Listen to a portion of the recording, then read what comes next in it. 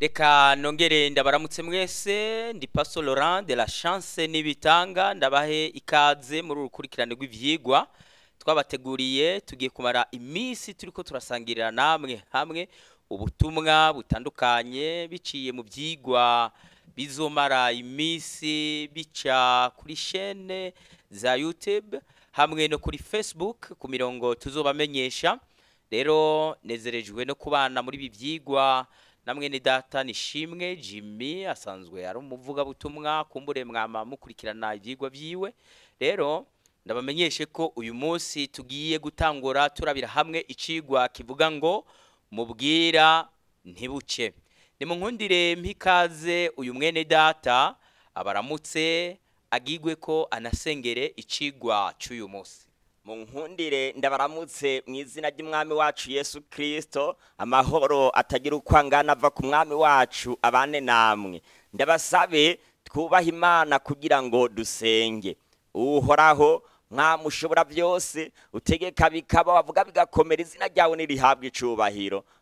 mwami urakoze ku bw'uno mwanya n'ano mahirwe uduhaye twebwe abasabyi bawe kugira ngo tube turi ngaha turi ko turavuga ijambo ryawe mwami turisize munsi y'uburinzi bwawe twebwe utuyobore tugiye gushikiriza kino kigwa kandi mwami nuno mwene data agiye gukurikirana kino kigwa umuyobore gutahura inyungu yotuma tuzobona ubwami bwawe aba ariyo ko mu izina ry'umwami wacu yesu kirisito amen amen uragize neza cyane mugenzi ku isengesho ryawe nk'uko nabibabwiye ikigo cyacu cy'uyu munsi kiravuga ngo mubwira ntibuke nk'uko wumva iryo jambo mubwira ntibuke bisobanura ahantu hari umwijima w'icuraburindi utigera ubamwo gaco na gatoya umuntu akaba yugaraniwe mu cyumba cy'umwijima ahantu hashobora guhurira n'ibibazo bitandukanye ku buryo atazokwigera abona umuco w'izuba na gato mubwira ntibuce ni mu mwijima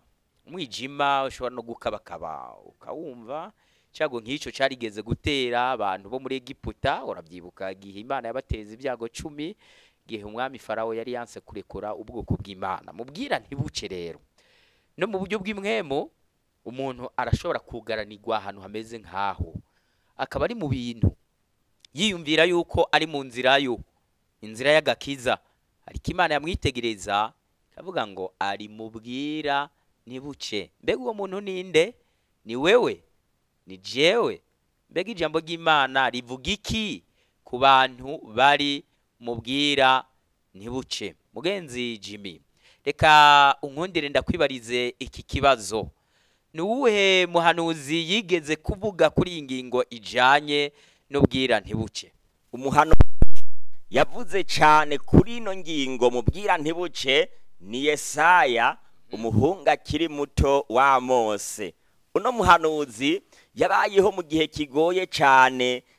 igihe gisa nk'icyo twebwe uno munsi tubayemwo mm. cyari igihe abantu bari barasubiye inyuma barataye umurongo bari bari baribagiye imana y'ukuri ubwoko bwera bw'abisirayeli bwari bwaratowe kugira ngo buhagararire izina ry'imana hano ku isi bwari bwarayiteye umugongo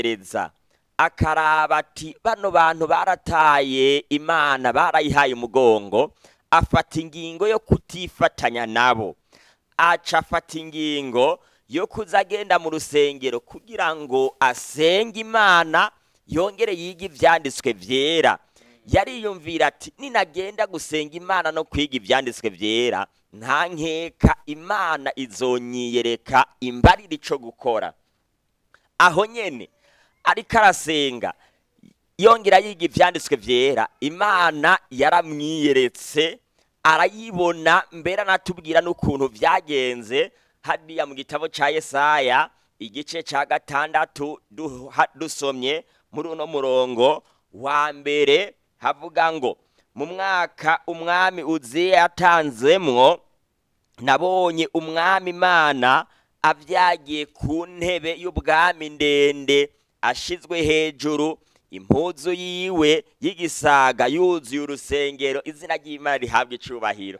yarayiboneye kandi arayimenya arabona yuko ari imana amaze kuyimenya rero akayibona hari abantu mu buzima iyo barenganye ahantu ariko haravuga ubutumwa bwiza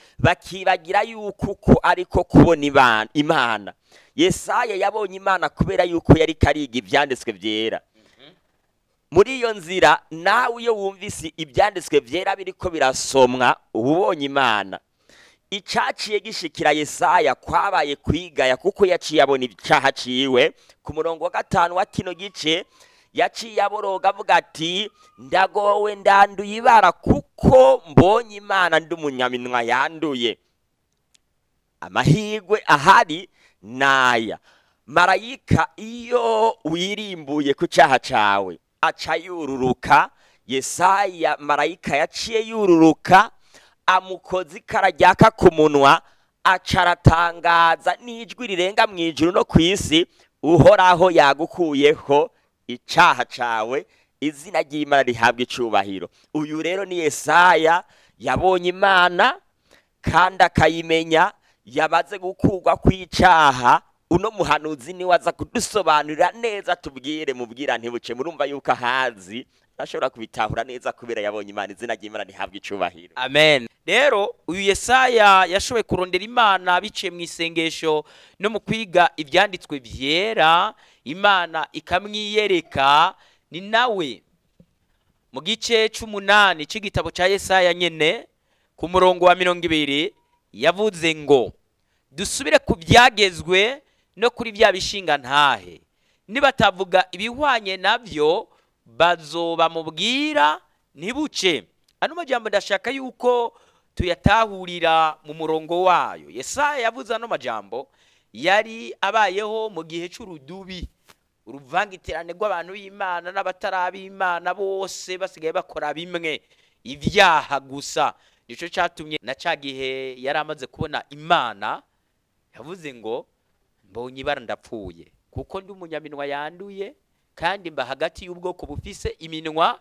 yanduye urumva yuko nawe nyine ubwiwe yashinze nta yuko abantu bamukikuje ari abanyabyaha nk'uko nawe yiyemerera yuko ari umunyabyaha uretse yuko we yahavuye atsindanishirizwa rero muri icyo gihe ibintu byari byayoberanye gushikiyo yesaya yatanze umuhamagaro asa n'ubwira bagenzi biwe ati nyabuna imunze dusubire ko byagezwe no kuri bya bishinga ntahe turabe yuko bavuga ibihwanye nabyo nibatavuga ibihwanye nabyo bazoba mubwira ni mugenzi uri ko uradukurikirana mu kigwa cy'uyu munsi ni wifuza nawe kumenya ahantu hari ubwira buke subira ku byagezwe no kubishingira yesi ntahe urabe yuko ibivugwa n'ibyigishwa byose bihwanye nabyo nusanga bidahwanye aho hantu hazoba ari mu bwira nibuke uzoca imana ntizoba yifuza yuko uba aho hantu reka nsabe uyu mwene data jimmy aturabire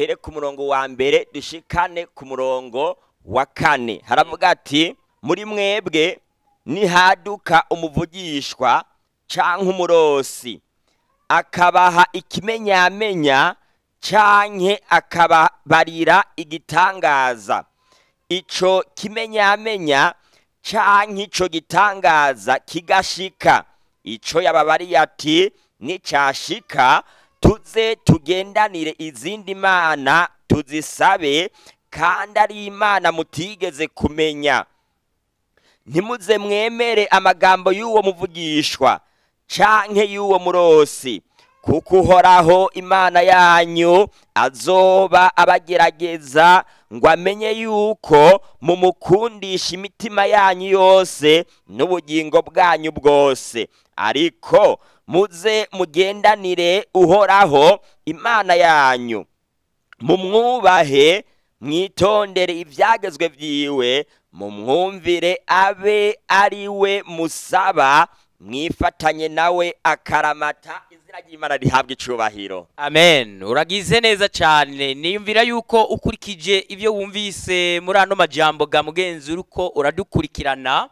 urumvise ingene imana yatanze imburi ku bantu bayo kugira ngo baze birinde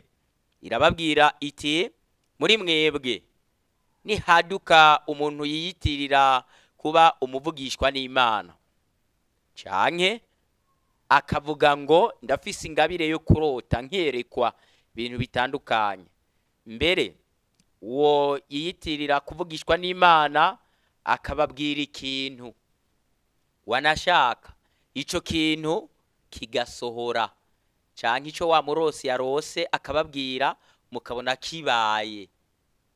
mwoye kuzohava mujya nago mufatiye kuri ibyo gusa ngo ni uko ibyo yavuze byasohoye ngo muce mwatura ngo uyu ni umuntu w'imana koko haba nambani hazoba haragera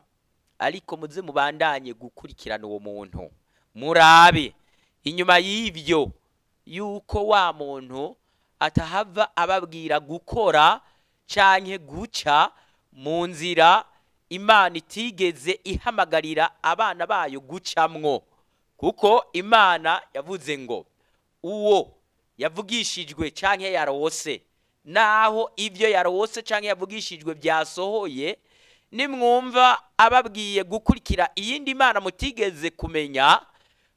muzoce mumenya yuko uwo muntu atatumwe n'imana ngo imana izoba iri kirabagerageza ngo irabe yuko muyumvira murumva rero yuko muri iki gihe bisaba yuko abantu birinda cyane benshi muri iki gihe twawe no kubona abantu bavuga ngo turababwishwa n'imana uvise ingabire yo kwerekwa no kurota ibintu bigashika bafatiye kuri ibyo gusa n'ubwo uwo muntu yoca ababwira ngo ubu rero ndabategetse kwama murisha ubwatsi ugasanga ibyo bintu barabyemeye nk'aho umenga bivuye ku mana bafatiye gusa ku kuba uwo muntu yarigeze kubwishwa ikintu kigasohora ariko ijambo ry'imana byerekanye yuko umuntu nubwo yobwishwe ikintu kigasohora amajambo yiwe akurikira akacaba ayo kubwira abantu gukora ibintu imana itigeze ivuga icyo ni kimenyamenya cy'uko umuntu aba ari mu bwirantiki ntibuce aba ari mu mwijima wicura burindi ntaba yatumwe n'imana imana ni nk'aho iba iriko irageza abantu kugira ngo irabe yuko bayumvira none rero mwene data jimmy ni gute uyu munsi ushobora kutwereka uko abantu bakomeje gutwikirwa n’ububwira buke kugira ngo tumenye ukuntu abantu bari mu bwirane buke uno munsi birasaba yuko tubanza gusubiza ubwenge ku majambo ya paul avuga hariya mu cete cya kabiri yandikiye abitesalonike ku murongo w'icyenda yavuze ngo ukuza k'uwo mugarariji kuri mu buryo bw'inkomezi za satani n'ubushobozi bwose n'ibinyoma n'ibitangaza by'ibinyoma mu minsi iheze nari ko ndaraba ku mbuga ngukanabumenyi mbona abantu uwo bitwa ngo ni umwungere wabo abarongoye yazanye ipompo ipompo ry'abapompesha itomate intore n'irengarenga yashize abantu hariya ariko arabapompa nk'uko babaye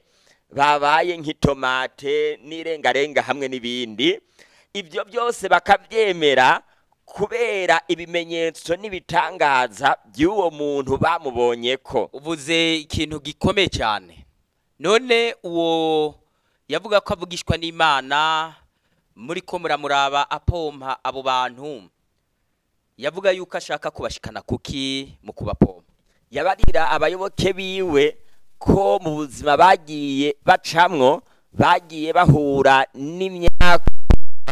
n'imikoshi igereranywa na turiya dukoko dufata biriya biterwa by'itomate irengarenga hamwe n'ibindi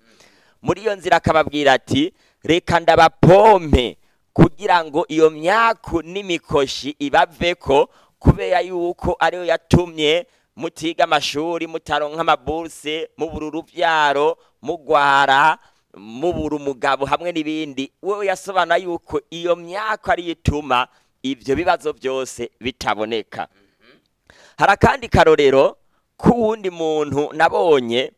uwo yategetse abayoboke biwe kwiyahura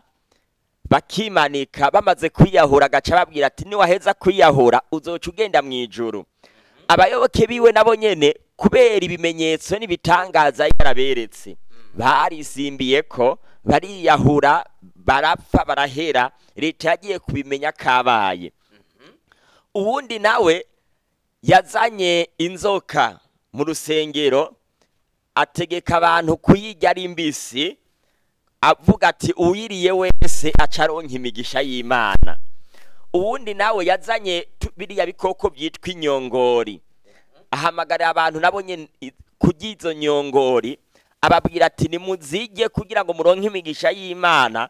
na kare ntacyo imana yaremye kitari icyo kuriya hari n'abandi nzi bazanye ibitoro hamwe n'ibindi ariko nshaka kugira ngo abantu bamenye bano bantu n’abantu abantu ki mu by'ukuri kubera yuko paul yatubwiye ko kuza kwabo ari mu buryo bw'ubwenge bwa satani bw'inkomezi nyinshi muri kahise nk'uko yesaya yari ari mu gihe abantu batari bwamenye imana bari abapagani e, muri kahise Burundi turashobora kuharabira hari hariho abantu basenga ibigigwamana.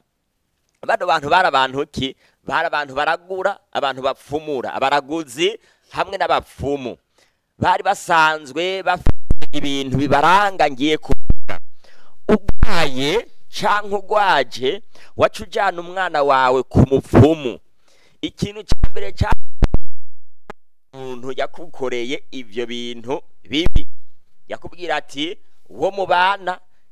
canke so wawe canke nyoko wawe canke nyasenge niwe yakugiriye izo ngorane niwe yaguteye iyo myaka niwe yaguteye iyo ngwara niwe yatumye ibyo byawe bitagenda neza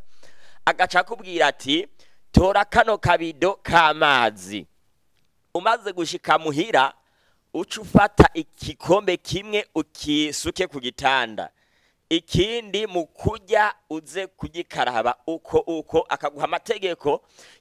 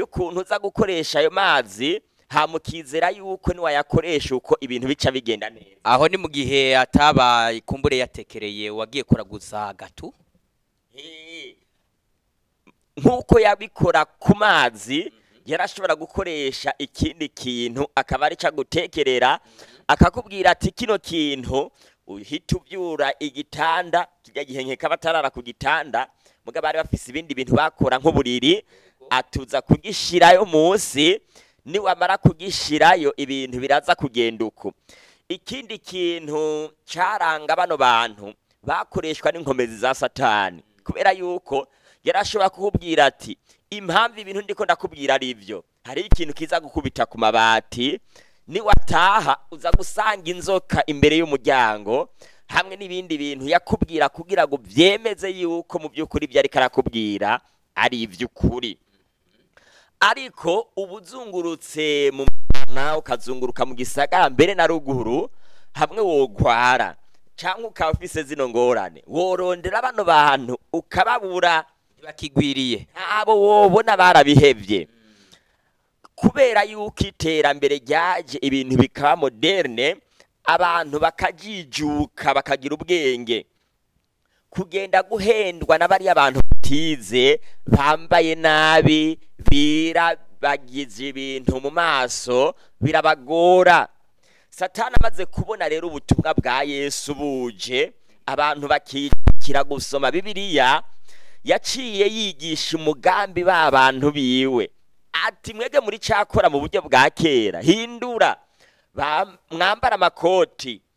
mutore namwe za bibiliya mushinga amashengero ibi bikorwa mwahora mukorera hano hantu hinyegeje mugende kubikorera mu mashengero ku mugaragaro kandi ku mugaragaro nicyo gituma uno munsi ibikorwa ba bantu ba kera bakora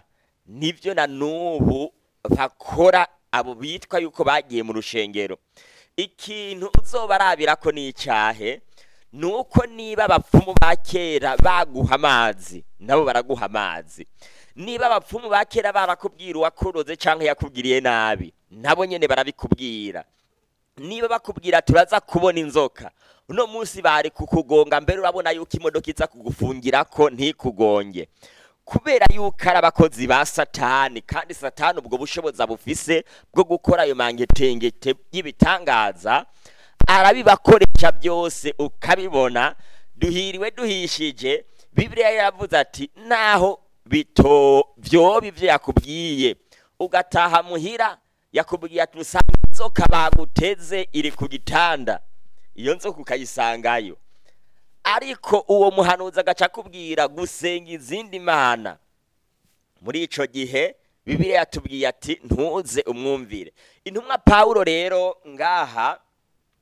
ku murongo w'icyenda yavuze ngo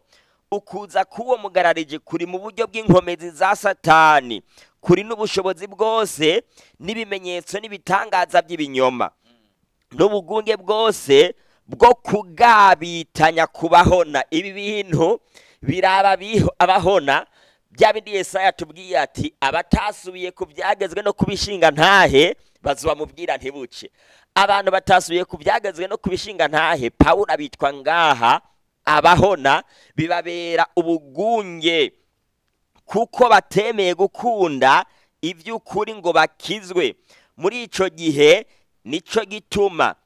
imana ibarungikira ubuzimire bubakoreramwo ngo bizere ibinyoma kugira ngo abatizeye ukuri bose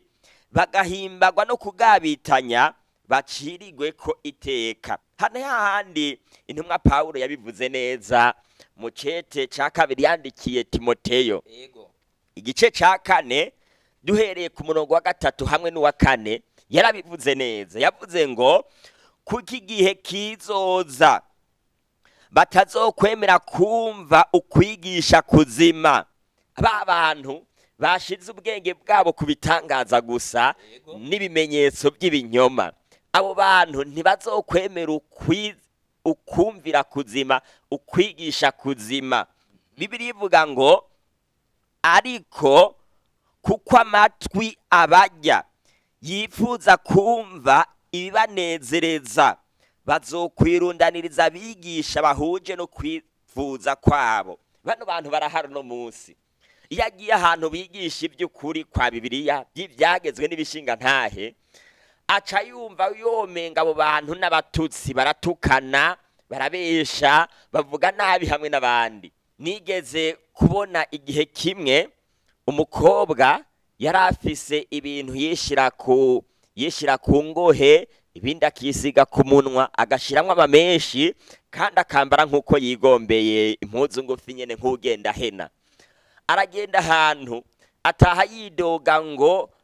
ahajya ahantu siho basigura abantu kubera yuko bari bigishije kwifata runtu kwambara nk'abarundi kazi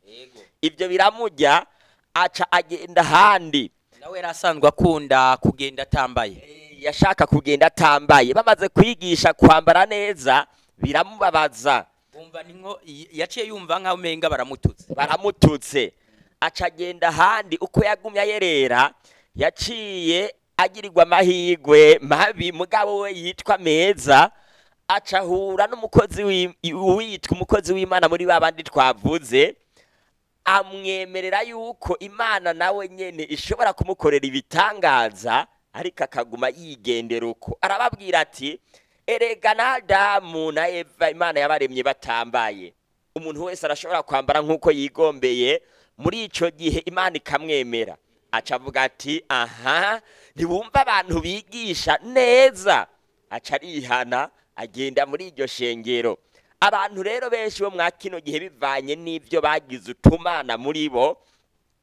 barondera ko imana ibagirira neza ariko batavavaniye n'icyaha cyabo bitandukanye na Yesaya kuko we imana yamugiriye neza imutandukanije n'icyaha ciwe ariko abantu bo bo mwa kino gihe bobo barakenera ibitangaza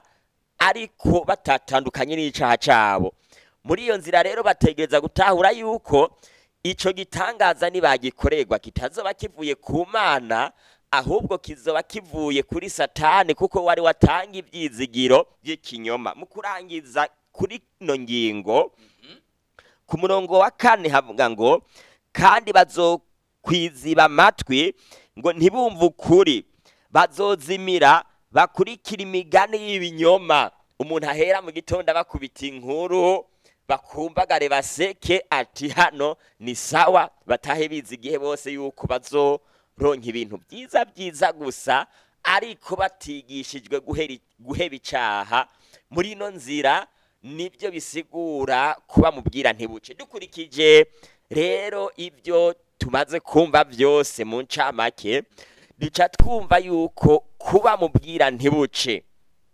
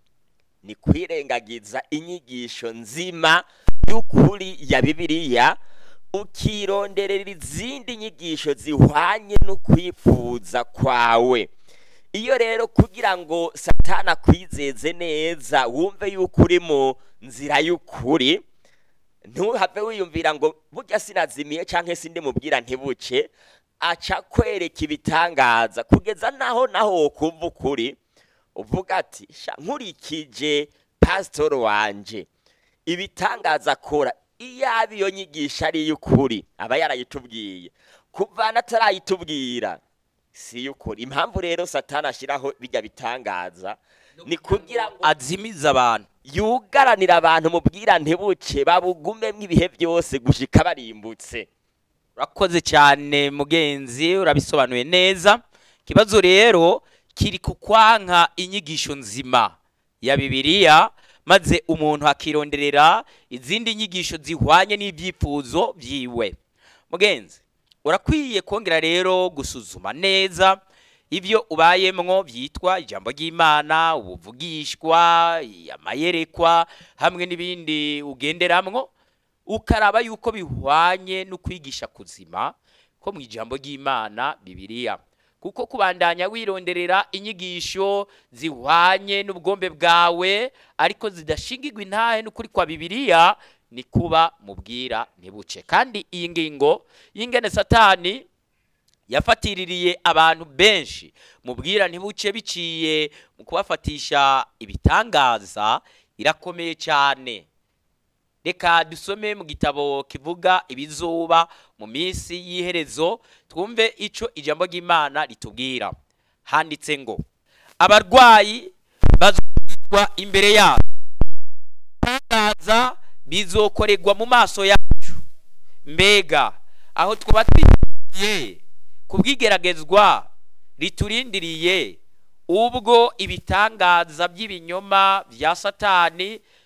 bizorushaho kwigaragaza mu buryo bwuzuye iki ni ikibazo imana iri ko irabaza abantu bayo muri iki gihe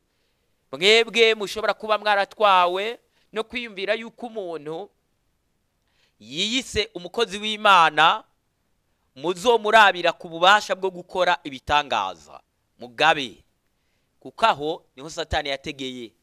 kuko yiteguye kuzokoresha abantu biwe ibitangaza byinshi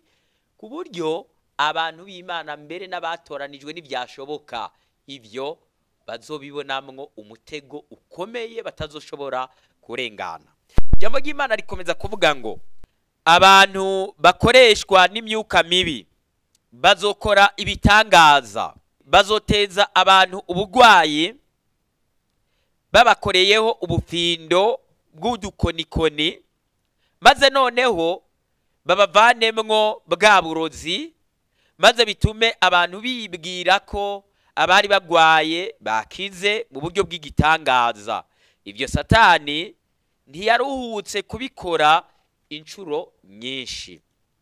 vuba aha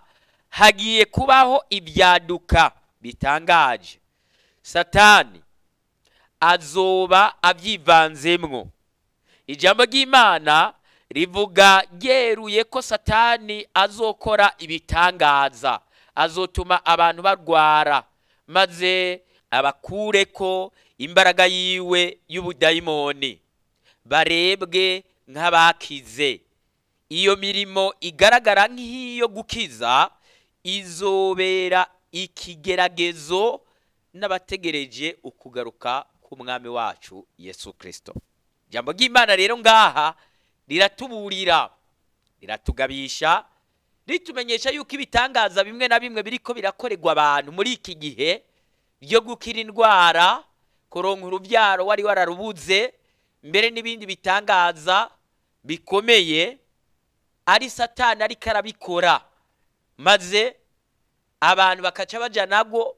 bakiyumvira yuko ababikoze bakoreshwa n'imana kandi ari abakozi katwa ba satani aho rero dukwiye kuhagabira maze tukamenya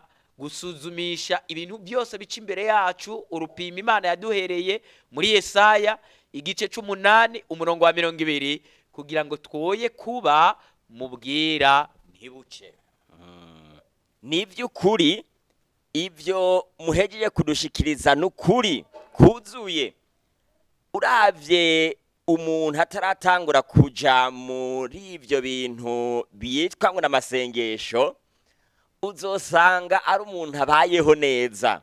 ariko satani aramugendana kugira ngo amuteze indwara hama n'ibyaca bimugora kubera ukwizera guke kwiwe aca agenda kwa dogiteri yarungitswe na satani nyine aba ari we amuvura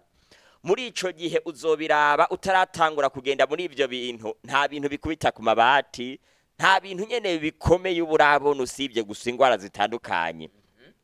ariko utanguye kubijamwo ba barozi batangura kukurungikira inzoka ugasanga uryamye wararanye n'inzoka ugasanga umwana wawe arapfuye n'ibindi bibazo byinshi bica byaduka ariko yesaya ngaha yari yarabivuze neza nyine ku biranga abantu bamubwira ntibuce muri wa murongo nyine wavuga wo muri yesaya igice cy'umunani ku murongo wa mirongo ibiri reka dusome umurongo wa mirongo ibiri na rimwe wumve havuga hati bazoca mu gihugu bamerewe nabi cyane bashonje bagenda muri ibyo bintu kugira ngo barondere ibyo kurya ariko ntibigera babibona kuko nibo bantu ba mbere baguma bayerera bayerera bashonje barondera ubuhungiro aho butara ariko ntibaburonke maze nibafatwa n'inzara bazoshangashigwa bavuma umwami wabo n'imana yabo bazorarama barabe hejuru bazokwitegereza no ku isi basange hari ibyago n'umwiza n'umubabaro ubiriraniye ko maze bazohindigwa mu mwiza w'umuzitanya babura iyo bava n'iyo baja kubera yuko birengagije ukwizera kuzima banse gukunda yesu umwami wabo bakunda abayobozi babo mu by'idini kubera babahendesheje ibigirwamana kugira ngo dushobore kumenya gukunda yesu uko ariko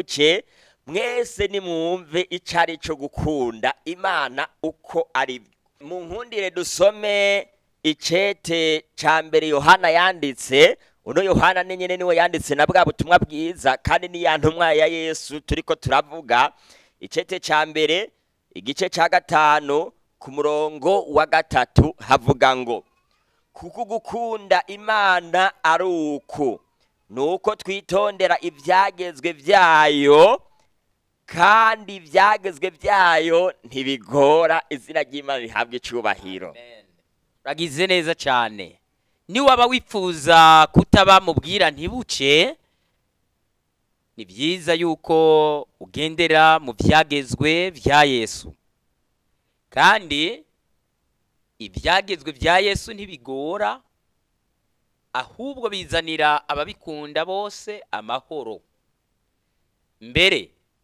ababigenderamwo bakabirimbura ko ku murango no mu ijoro nta kibatsitaza bagira ubuzima bwabo bahora baroraniwe ariko ndavuga ubuzima bw'iby'imwemu kubera ko naho ubuzima bundi bw'umubiri bwogira ibibazo ariko umuntu akomeye kandi ahagaze neza mu buryo bw'imwemu uwo mu by'ukuri abandanya kugaragara imbere y'imana nk'uri mu mucyo usesuye kandi abahiriwe gusumba ufise ibihinda ariko atamana afise kandi muri yohana igice cy'icumi na kane uhereye ku murongo wa mirongo ibiri na rimwe yesu kirisito yavuze ngo uri n'ibyagezwe byanje akabyitondera uwo ni we ankunda kandi unkunda azokundwa na data nanje nzomukunda kandi nzomwihishurira yuda atari isikariyota aramubaza ati mugenzi bibaye bite kugira wishurire twebwe ntiwihishurire ab'isi yesu aramwishyura ati nihagira unkunda azokwitondera ijambo ryanje kandi data azomukunda maze tuzuza kuri we tubane nawe utankunda ntiyitondera amajambo yanje kandi ijambo mwumva si iryanje ariko ni irya data yantumye uko niko yesu kirisito ubwiwe yavuze mu ntumbero yo kwerekana ugukunda imana uko ariko mu kurangiza reka nongereye ijambo mwene data jimmy agire icyo avuze mu gihe twerekeje ku musozo mu kurangiza ikintu nubarira abariko baradukurikirana ni uko muri ino nzira turimwo hariho amahitamo abiri kandi umuntu wese ahamagarirwa kwihitiramwo duhegeye kumva ubuzima kubaho biri mu buryo bubiri